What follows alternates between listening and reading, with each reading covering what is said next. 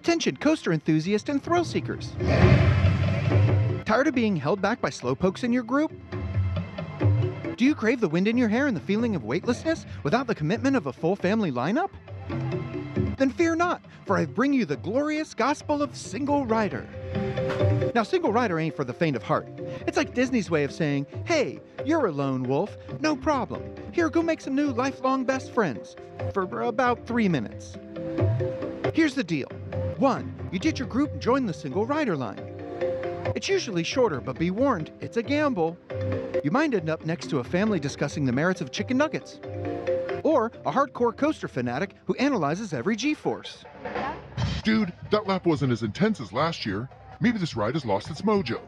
Two, when it's your turn, a cast member will strategically place you in a ride vehicle to fill the empty seats.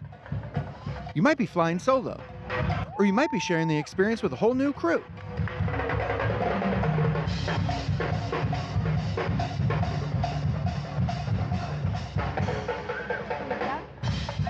Only a handful of rides offer this, so when I had seen the wait time was 70 minutes for the standby queue, I went from getting in line to riding in about 18 minutes.